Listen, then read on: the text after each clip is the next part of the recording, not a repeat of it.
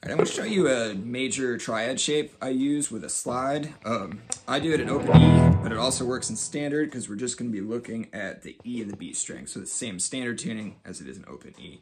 Um, let me show you the notes first, then I'll show you how to do it with the slides. So it's going to be frets. Let's do it in G, just because I'm feeling G today. I don't know why. Um, it's going to be frets 8 and 12 on the second string. And then you're going to go up to the first string and hit fret 10, so there's your triad, right? And then to slide up to an octave, we'll go all the way to the 15th fret. So on the B string, it's 8, 12, and then on the E string, it's 10, uh, that, 15. So with your slide, what you're going to want to do is plant your thumb behind the neck, kind of in one position. For me, it's a little bit in between the 8th and 9th fret, but everybody's going to find their own sweet spot, depending on the shape of your hand and what kind of guitar you're playing, and etc. Um, but what you're want to do is for those first three notes, you're not want to move your thumb. You're want to keep it planted and move the slide like this. If you see my thumb staying in place, as opposed to changing positions with each uh, fret you're sliding to. Don't want to do that. You want to do this. So it sounds like this.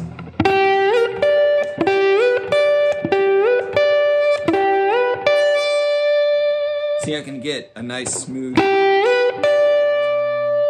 sound as opposed to, I know it doesn't sound that much different right now, but if you do that for every slide you do, it just gets exhausting and starts to sound just rougher and kind of slow and it just doesn't feel good to play that way. I'll probably give you a carpal tunnel or something. Um, so let's recap.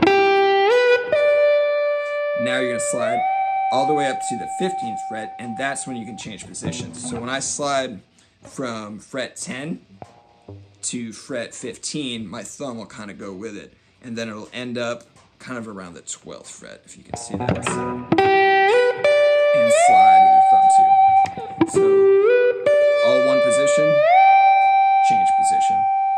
And what's cool about that shape too is you can fit the major pentatonic within that shape we just played. It's already in there, so you don't have to change your hands or anything too crazy.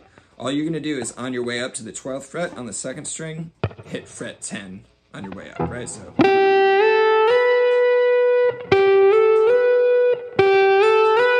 Same thing, my thumb's not moving. Then you're gonna go up to the first string, hit fret 10 again, but then on your way up to 15, hit fret 12.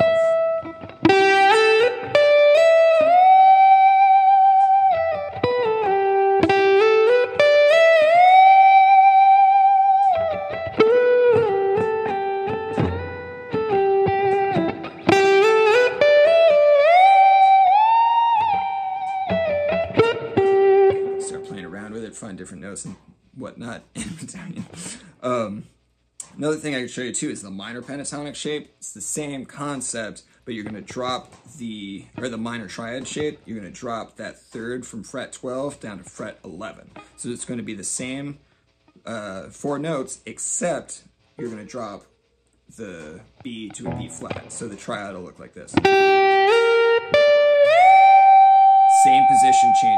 Thumb, just that one note difference. A B flat as opposed to a B. It's fret 11 on the second string as opposed to fret 12.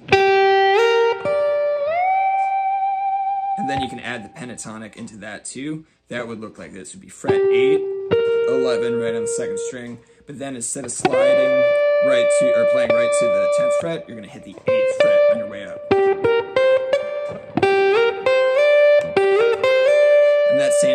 So while I'm playing that box, my thumb is not moving. And then instead of sliding all the way up to the 15th fret, you're gonna hit the, uh, what is that, 13th fret on your way up. And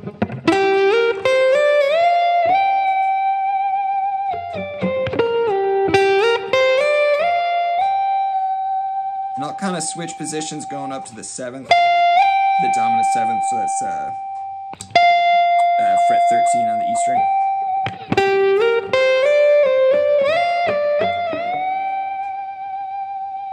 And you do some exercises like that too, where maybe you go up and down.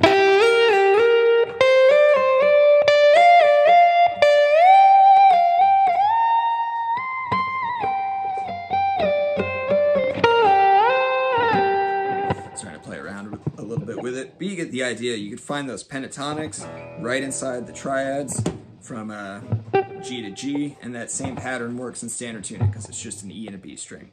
But awesome. Thanks for watching. Let me know if you got any questions, and I appreciate your support. Thank you.